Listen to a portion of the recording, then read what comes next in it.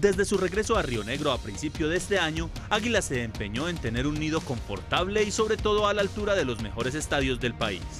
El primer objetivo era recuperar la grama natural y hoy el equipo realizó la primera práctica sobre la nueva superficie. Son detalles pequeños donde hay, que, hay sitios donde eh, la arena está muy blanda, debe ser por, por el, riego que le han hecho, la, estarle echando agua para que aparezca la grama, es normal.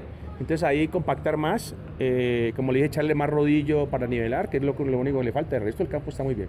Con una inversión de mil millones de pesos por parte del club y después de seis semanas desde que arrancó el proceso de cambio, los jugadores de Águilas manifestaron satisfacción por poder entrenar y competir en una cancha con altos estándares de calidad. Excelente volver a tener grama natural, la verdad, acá en el Alberto Grisales. Creo que eh, siempre debió haber estado así y no, creo que son cuestión de días que, le falta de mantenimiento, pero, pero no, excelente, excelente el gramado y yo creo que va a ser una de las lindas plazas de acá de Colombia.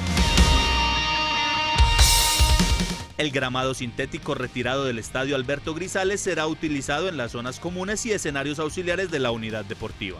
La alcaldía municipal se comprometió a adecuar el resto del estadio para que esté en óptimas condiciones para el próximo partido como local del equipo el 24 de febrero frente a Millonarios.